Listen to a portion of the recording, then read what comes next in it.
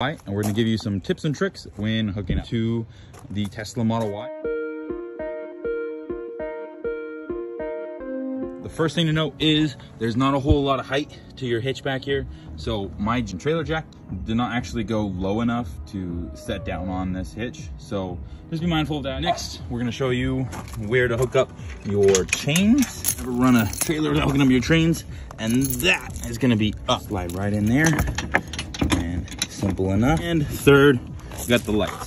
Now my trailer is running a four straight pin lights hookup and the Model Y comes standard with a seven blade light hook. So do not get the seven pin circle because the blades are different. Um, but we have that link down in the description below if you need to get the adapter um, for that. And that's all you need to know. Have a great day.